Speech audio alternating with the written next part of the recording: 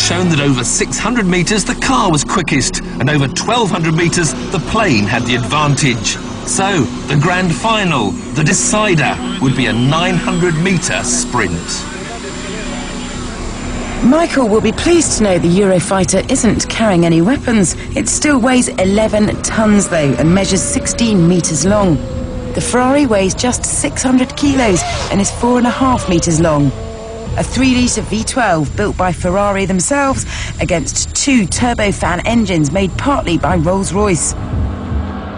Grosseto held its breath.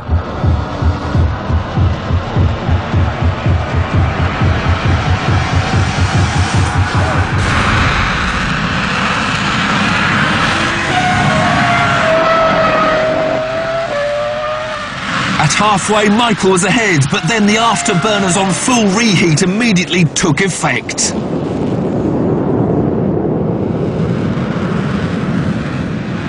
The brand new Eurofighter project had chalked up its first kill.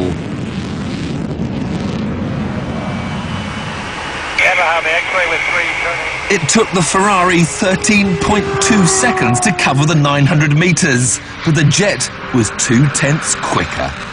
Michael says the wet tarmac hampered his getaway, but he still managed to hit 190 miles an hour and was leading at 400 metres. But it wasn't enough to hold off the Eurofighter's 40,000 pounds of thrust. Slingshotting the plane past the car, Cayley says he glanced at the clocks and saw 298 miles an hour as he crossed the line.